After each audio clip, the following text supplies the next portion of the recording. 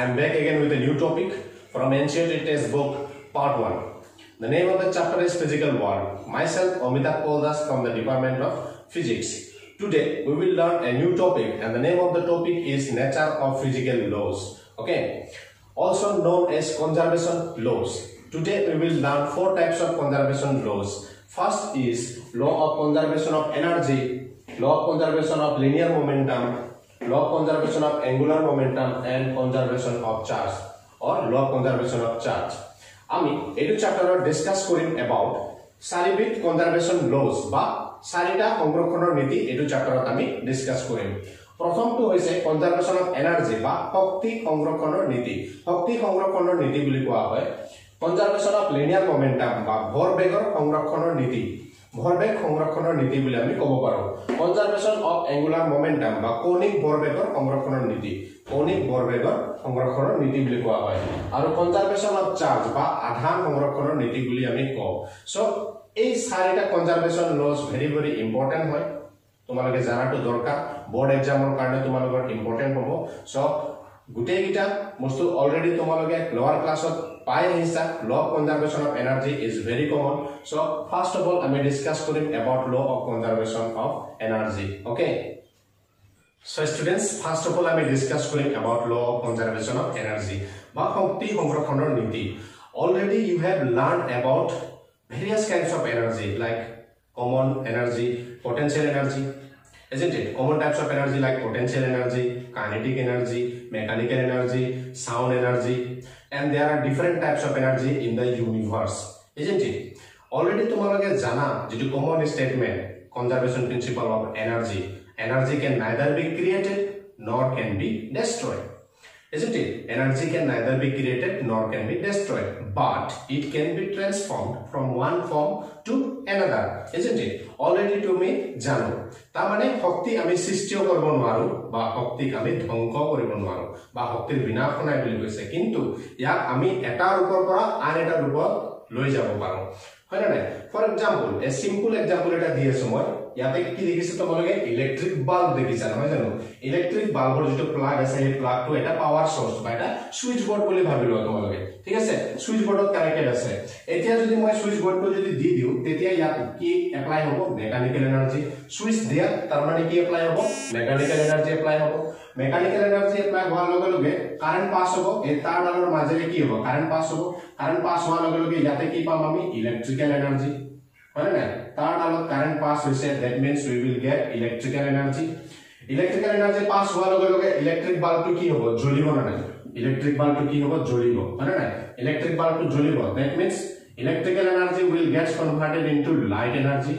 ঠিক আছে বাল্বটো জ্বলাৰ লগে লগে কি হ'ব লাহে লাহে বাল্বটো কি হ'ব গৰম হ'ব that means light energy will be converted into heat energy হয় নাই light energy will be converted into heat energy so' ইয়াতে তোমালোকে চোৱা ইয়াতে আমি চাৰি প্ৰকাৰৰ এনাৰ্জি পালো। চুইচটো দিয়া that means when we on the switch we have applied mechanical energy When the current passes, then we have got electrical energy. Electrical energy, bulb to জ্বলাৰ লগে লগে কি হ'ব? বাল্বটো জ্বলাৰ লগে লগে আমি কি পাইছো? Electrical energy gets converted into light energy বাল্বটো গৰম হৈছে। গৰম হোৱা মানে light energy gets converted into কি পালো? Energy gets transformed from one form to another form আৰু এটা যিটো চিম্পল ষ্টেটমেণ্ট আছে already we have learn about different energy like ইয়াতে তোমালোকে চোৱা mechanical energy electrical energy light energy heat energy sound energy তাৰমানে আমাৰ ইউনিভাৰ্চত ভেৰিয়াছ কাইণ্ডছ অফ এনাৰ্জি আছে। আৰু গোটেইকেইটা এনাৰ্জি কি হয় যিটো এমাউণ্ট আছে এমাউণ্ট ছেইম সেইকাৰণে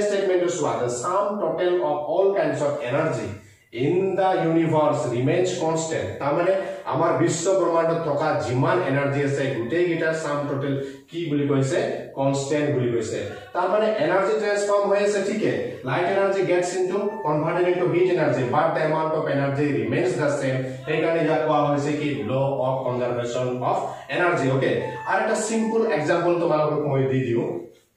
চোৱা for example when a body falls under gravity when a body falls under gravity its total mechanical energy remains constant okay free falling body body attack jodi suppose itu marker moi marker to jodi tolat pelai diu that means ki hobo it will fall under the effect of what gravity okay এতিয়া তোমালোকে চাবা যিটো simple example আমি পাইছো ইয়াত তোমালোকে mechanical energy টাৰ্মটো use কৰা হৈছে নহয় জানো so' what is mechanical energy mechanical energy is the sum total of kinetic energy plus potential energy okay mechanical energy মানে কি বুজাইছে?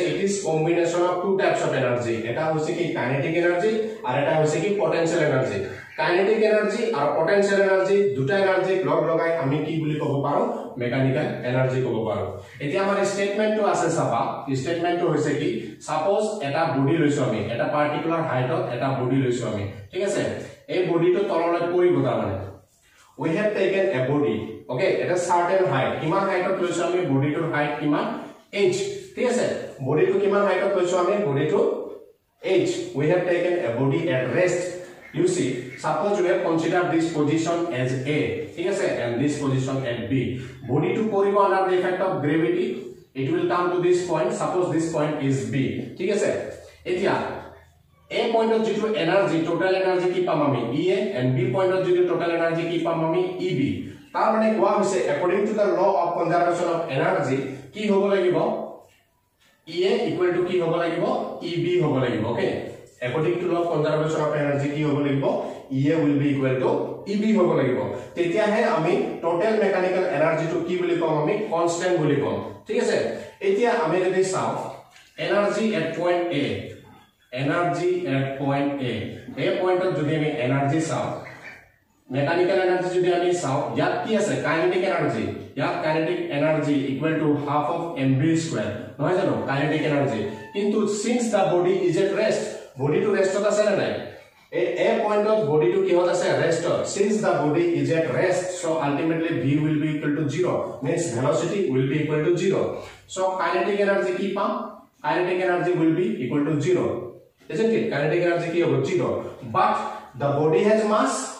but the body has mass and it is affected under gravity it is affected under gravity isn't it so ultimately your potential energy ki pam ami mgh ঠিক আছে mgh now total energy যদি আমি চাও ea this is total energy okay total energy যদি আমি চাও kinetic energy plus কি হব potential energy So ultimately kinetic energy 0 and potential energy mgh. That means EA will be equal to mgh. Okay. A point of আমি কি পালো energy? Mgh পালো। ঠিক আছে? Point of পালো আমি mgh এতিয়া second energy যদি আমি চাও তোমালোকে চাবা যেটো second আমি চাও তাৰ মানে B পইণ্টত এতিয়া আমি এনাৰ্জি চাম। B পইণ্টত যদি আমি EB equal to mgh ওলাব পাৰো তেতিয়া আমি টোটাল এনাৰ্জিটো কি বুলি কম? কনষ্টেন্ট বা কনজাৰ্ভ বুলি কম।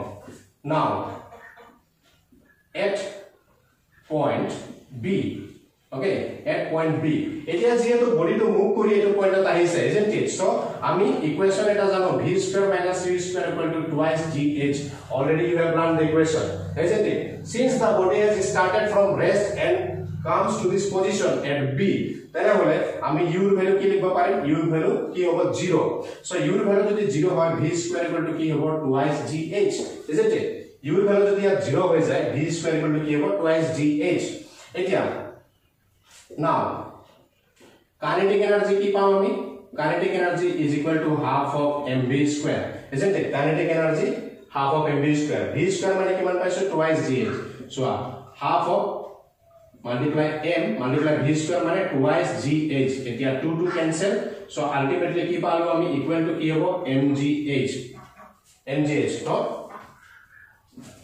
চাবা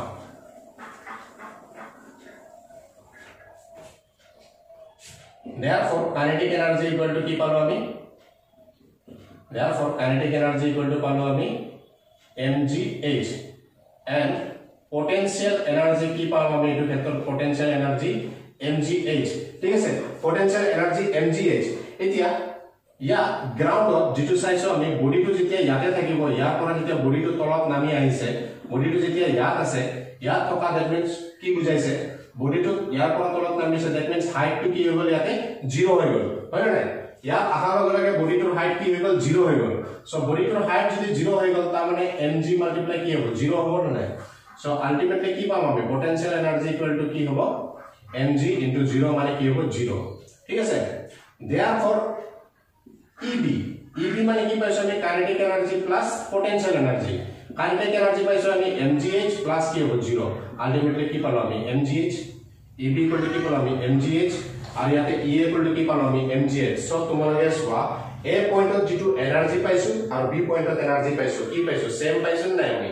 সো এইটোতে বুজাইছে তাৰপিছত কৈছে the sum total of all energy in the universe always remains constant আর এটা কথা কৈছে কি energy always gets transform okay from one form of energy to other form of energy are during the transformation it's amount it's total amount always remains the same এইটো example আছে কি for a free falling body under gravity the total mechanical energy always remains constant okay আমাৰ যেটো second conservation law এটো হৈছে law of conservation of linear momentum বা ভৰবেগৰ সংৰক্ষণৰ নীতি বুলি আমি ক'ব পাৰো। মোমেন্টাম তোমালোকে অলৰেডি জানা। নহয় জানো? Momentum is defined as the product of mass and velocity and it is related by the formula P equal to M V মানে বুজাইছে কি? মাছ ইনটু ভেলচিটি হয় নাই? অলৰেডি তোমালোকে জানা। ইয়াত লিনিয়াৰ মোমেন্টাম বুলি কৈছে লিনিয়াৰ মোমেন্টামটো কি লিনিয়াৰ মানে বুজাইছে ষ্ট্ৰেট ওকে লিনিয়াৰ মোমেন্টামটো ক'ত এপ্লিকেবল হ'ব যেতিয়া বডিটো এটা ষ্ট্ৰেট লাইনত যাব when the body will move in a straight line তেতিয়া তোমালোকে গম পাবা যে লিনিয়াৰ মোমেন্টাম ইউজ কৰা হৈছে ঠিক আছে সাপোজ তোমালোকক মই এটা এক্সাম্পল দিওঁ এটা বল আছে ঠিক আছে এটা বল আছে এই বলটো এ পইণ্টত আছে বলটো এতিয়া বৰ্তমান কিহত আছে ৰেষ্টত আছে হয় নে নাই বলটোৰ কি আছে মাছ আছে বলটোৰ মাছ আছে। এতিয়া বলটো ৰেষ্টত আছে। That means no any force is applied on the ball ঠিক আছে? এতিয়া কোনো ধৰণৰ এক্সটাৰ্নেল ফোৰ্স বলটোৰ ওপৰত এপ্লাই কৰা হোৱা নাই যাৰ বাবে বলটো ৰেষ্টত আছে। এতিয়া যদি আমি ইয়াতে ফোৰ্স এপ্লাই কৰি দিওঁ ফোৰ্সটো এপ্লাই কৰাৰ লগে লগে কি হ'ব? বলটো এইটো পইণ্টৰ পৰা সাপোজ এইটো পইণ্টত আহি গ'ল। নহয় জানো? এ পইণ্টৰ পৰা বি পইণ্টত আহি গ'ল। এতিয়া এ পইণ্টত যেতিয়া বলটো আছিলে তাৰ মানে ইয়াৰ কি আছিলে ভেলোচিটি ইউ তাৰ মানে ইয়াৰ মোমেন্টাম যদি আমি চাওঁ কি হ'ব এম ইউ হ'ব নে এম ইউ এম ইউটো কি হ'ব ইয়াৰ ইনিচিয়েল মোমেন্টাম তাৰ মানে ইনিচিয়েল মোমেন্টামটো কি হৈ আছে ইয়াতে জিৰ' হৈ আছে কাৰণ ইউৰ ভেলু কি হৈ আছে জিৰ' চ' ইয়াৰ ইনিচিয়েল মোমেন্টামটো কিয় কি হৈ আছে জিৰ' কিয় জিৰ' হৈ আছে কাৰণ কোনো ধৰণৰ ফ'ৰ্চ ইয়াতে এপ্লাই কৰা হোৱাই নাই হয় নে কিন্তু যেতিয়া আমি ফ'ৰ্চ এপ্লাই কৰিম এফ ফ'ৰ্চটো এপ্লাই কৰাৰ লগে লগে বলটো এ পইণ্টৰ পৰা বি পইণ্টলৈ গুচি যাব হয় নাই? বি পইণ্টত গুচি যোৱাৰ লগে লগে ইউটো চেঞ্জ হৈ যাব কি হ'ল ভি তাৰ মানে initial velocity will be change to final velocity okay A পইণ্টৰ পৰা বি পইণ্টত যেতিয়া গুচি যাব তেতিয়া initial velocity will be um um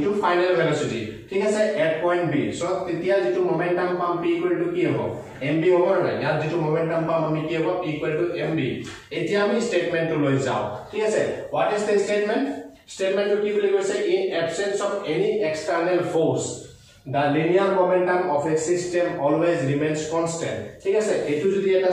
বুলি যদি আমি কওঁ if you consider a system ইয়াতে কৈছে কি? In absence of any external force তাৰ মানে এটা চিষ্টেমত যদি কোনো ধৰণৰ এক্সটাৰ্নেল ফ'ৰ্চ এপ্লাই কৰা নহয় তেতিয়া মোমেন্টাম কি হ'ব? Linear momentum always remains constant ঠিক আছে? যেনেকুৱা তোমালোকে চোৱা ইয়াত যদি আমি ফ'ৰ্চ এপ্লাই নকৰোঁ বডিটো ৰেষ্টতে থাকিব। ৰেষ্টত থকা তাৰ মানে মোমেন্টামটো কি হ'ব? জিৰ' হ'ব। মোমেন্টামটো জিৰ' হোৱা মানে ইয়াত যিটো মোমেন্টাম আছে সেই মোমেন্টামটো কি হ'ব? ইয়াতে কনষ্টেণ্ট হৈ থাকিব। হয় নাই? That means momentum will remain constant কিন্তু ফ'ৰ্চ এপ্লাই কৰাৰ লগে লগে বডিটো মুভ হ'ব। আৰু initial velocity will be change into final final তেতিয়া কি হ'ব মোমেন্টামটো চেঞ্জ দেখুৱাব হয় নে নাই তাৰ ইয়াত কৈছে কি এক্সটাৰ্নেল ফ'ৰ্চ যেতিয়ালৈকে আমি বডিটোৰ ওপৰত এপ্লাই নকৰোঁ এই চিষ্টেমৰ যিটো টোটেল লিনিয়াৰ মোমেন্টাম আছে টোটেল লিনিয়াৰ মোমেন্টামটো কি হ'ব কনষ্টেণ্ট থাকিব ইয়াত যদি আমি চাওঁ in absence of any external force the total linear momentum always remains constant বুলি কোৱা হৈছে ঠিক আছে এতিয়া ইয়াত চোৱা আৰু এটা ষ্টেটমেণ্ট দিছে এইটো ষ্টেটমেণ্টত আমি কি পাইছো আইচলেটেড চিষ্টেম পাইছো হয় নে নাই এইটো ষ্টেটমেণ্টত এতিয়া আইচলেটেড চিষ্টেম মানে কি বুজাইছে ইয়াত in absence of any external force আৰু আইচলেটেড চিষ্টেমটো কি বুজাইছে একে তাৰ মানে তোমালোকে in absence of any external force ব্যৱহাৰ কৰিব পাৰা বা তোমালোকে আইসোলেটেড সিস্টেম তোমালোকে ইউজ কৰিব পাৰা আইসোলেটেড সিস্টেম কি বুজাইছে it is a system where no any external force act on it okay isolated সিস্টেমত কি বুজাইছে? এইটো সিস্টেমত কোনো ধৰণৰ এক্সটাৰ্নাল ফোৰ্স এপ্লাই কৰা নহয়। Isolated system means it is a system where no any external force acts on it. Okay এইটো বুজাইছে isolated system. In isolated system the linear momentum always remains constant ঠিক আছে? আৰু ইয়াত কি পালো আমি? In absence of any external force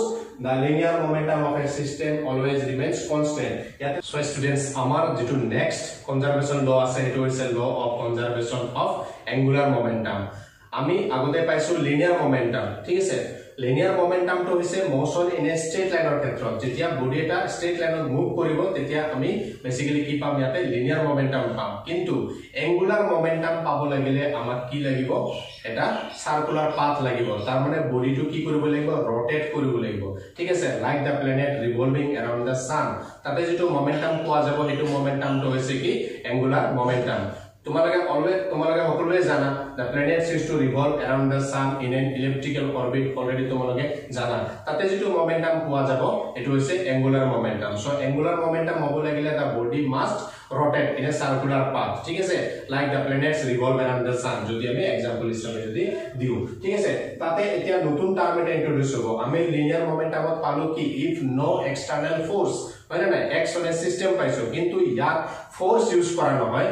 Here force is not use in place of force we will introduce a new term and the name of the term is torque okay নামটো হৈছে কি? টৰ্ক এইটো চাবা torque torque in absence of any external torque okay or in absence of বা if no' external torque linear মমেণ্টামত আমি use কৰিছো force কিন্তু angular momentum কি use কৰিম আমি torque. Torque is a type of a force. Okay, যিটোক আমি angular momentum use কৰিছো.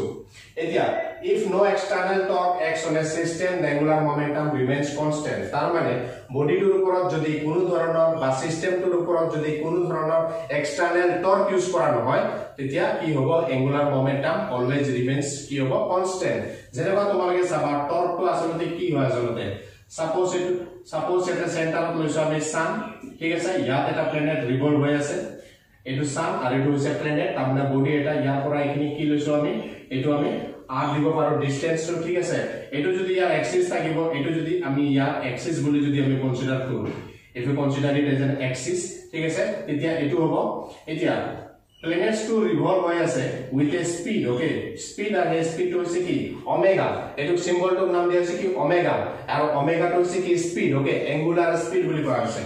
এংগুলাৰ স্পীড তে ইয়াৰ ওপৰত আমি ফ'ৰ্চ এপ্লাই কৰিব পাৰিম। এফ এইটো ফ'ৰ্চ এপ্লাই হ'ব।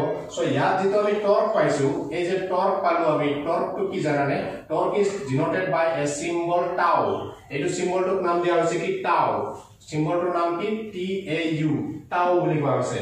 Tau equal to R into F ঠিক আছে ফ'ৰ্চ মাল্টিপ্লাই আৰটো কি বুজাইছে পাৰপেণ্ডিকুলাৰ ডিষ্টেঞ্চ বুজাইছে অ'কে এই এইটো বডি আৰু এইটো বডিৰ মাজত যিটো ডিষ্টেঞ্চ আছে ডিষ্টেঞ্চটো কি পাইছো আমি? আৰ চ টাউ মানে কি বুজাইছে আৰ ইনটু এফ ঠিক আছে?